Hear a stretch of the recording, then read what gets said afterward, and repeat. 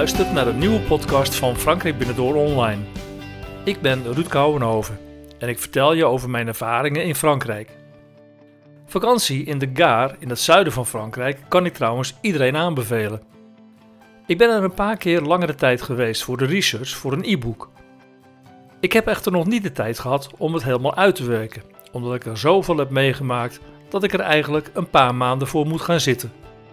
Maar in deze podcast laat ik je alvast kennis maken waarom vakantie in de Gare een aanrader is. En verklap ik je alvast een paar van mijn geheimpjes. Luister je mee? De Route du Soleil is de zomerse snelweg naar het zuiden van Frankrijk. En bijna aan het eind vind je de Gare. Langs de Middellandse Zee liggen traditionele badplaatsen voor een vakantie aan de mediterrane kust. En tussen de grote steden Montpellier en Marseille bevindt zich de kuststrook van het departement Gare. Dit mooie vakantiegebied is genoemd naar de rivier de Gardon, die hier door het landschap slingert en zich samenvoegt met de Rhône om via de delta van de Camargue uit te komen in de Middellandse Zee. Het in het binnenland gelegen Nîmes is de hoofdstad van het departement en een supergezellige stad. Een andere, wat grotere plaats is Alais en de omgeving van deze stad is populair bij vakantiegangers en dat is niet voor niets. Voor een vakantie in de Gare vind je trouwens ook vele kleine en schilderachtige dorpjes. Tot de verbeeldingssprekende stadjes zijn bijvoorbeeld Bagnols-sur-Cèze, Beaucaire, Saint-Gilles, Uzès en Villeneuve-les-Avillons.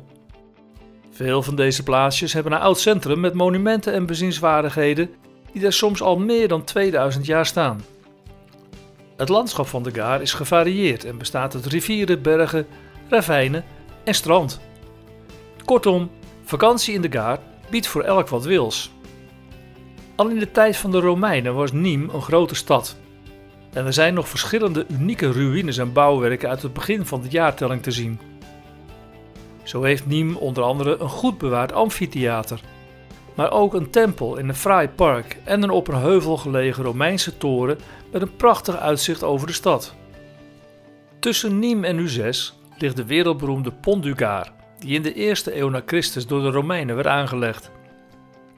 In Uzès staat onder meer de Saint-Théodorie-kathedraal en het paleis van de hertogen van Uzès. De belangrijkste bezienswaardigheid in de stad Alais is de 18e-eeuwse kathedraal van Alais. Van de kleinere plaatsen in de Gare is ook in Villeneuve-les-Avillons veel overgebleven uit het rijke verleden. Dit dorp heeft historische gebouwen zoals het Fort Saint-André uit de vroegere 14e eeuw en de Tour Philippe le Bel. In de plaatsje Beaucaire vind je een middeleeuws kasteel, terwijl in Bagnols-sur-Cèze de authentieke oude straatjes en de 16e-eeuwse Saint-Jean belangrijke bezienswaardigheden zijn. Saint-Gilles aan de rand van de Camargue staat bekend om de 7e-eeuwse Saint-Gilles-abdij. Hoewel officieel niet behorend tot de regio Gare, is de nabijgelegen stad Avignon met zijn stadsburen en het Palais de Pape ook niet te missen. Het is een oversteekje over de Rhône meer dan de moeite waard. En aan de kust, bij het vestingstadje Aigues-Mortes, bevinden zich de belangrijkste stranden van de streek. De zandstranden van bijvoorbeeld Le Gros du Roi en Port du Camargue en het woestijnachtige duinenstrand van Espiguet hebben een totale lengte van bijna 40 kilometer.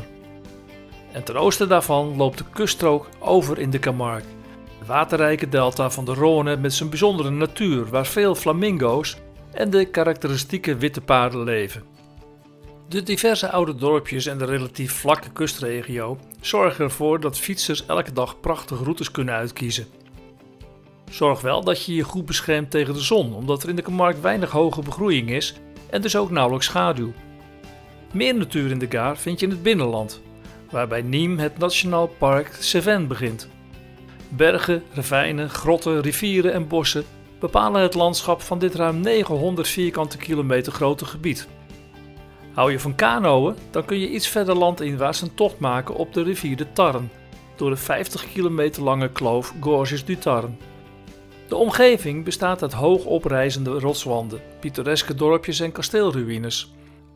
Ook leuk om te doen is een bezoek aan het dorpje Sommières. Het is er op zaterdagmorgen heel gezellig, omdat er dan een prachtige markt wordt gehouden. In de smalle straatjes van het dorp en langs de oevers van de rivier de Verdoele staat dan een onafzienbare rij kraampjes met verse waren, maar ook brokanten en andere oude spullen. Tussen de middag kun je er heerlijk lunchen op de vele terrassen. Vooral de verse oesters op de markt zijn een verrassing. Je koopt ze op de markt onder de schaduwrijke bogen bij een oesterkraam en neemt ze gewoon mee naar een terras. Ga zitten, bestel een glas wijn en je oesters worden ter plekke voor je opengemaakt. Nou, is dat service of niet? Let vooral goed op de mensen die de oesters met een enorme vaardigheid openmaken. En nu ik je dit vertel, loopt het water me in de mond en zie ik mezelf alweer in Sommière zitten. De omgeving van Sommière is trouwens ideaal voor een mooie vakantie. Je zit niet ver van Nîmes en Montpellier. Je kunt fantastisch wandelen in de omgeving en mooie plaatsen zoals Uzès en de Zobre, maar ook de Petite Camargue en de Pont du Gard liggen op een steenworp afstand. Er loopt ook een voie verte voor de fietsers van circa 24 kilometer, die dwars door en langs de wijngaarden naar onder andere Calvisson gaat. Een hele leuke vakantiestreek. Nîmes en de Pont du Gard heb ik al genoemd. Maar een bezoek aan de Gare zonder deze twee gezien te hebben is niet compleet. De stad Nîmes is ontzettend gezellig, vooral op zaterdag als er markt is. En ga dan later op de dag naar de Jardin de la Fontaine. Als je daar tegen het eind van de middag naartoe gaat, kun je meestal getuige zijn van bruidsparen die er op de foto gaan, maar er ook gelijk een klein feestje vieren.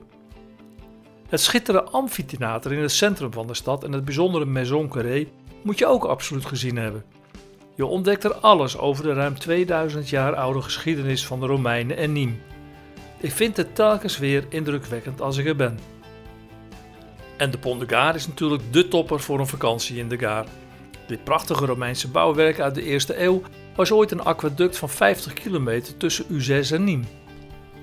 Je kijkt er je ogen uit over zoveel vakmanschap en dat al meer dan 2000 jaar geleden. Als ik in de Gare ben, dan moet ik ook altijd weer even naar Egmort. Waarom? Omdat je er in de omgeving heerlijk kunt fietsen. En binnen de stadsmuren is het altijd superleuk. De Place Saint-Louis bruist altijd van gezelligheid. Houd er wel rekening mee dat Egmort vooral in het toeristenseizoen heel druk kan zijn.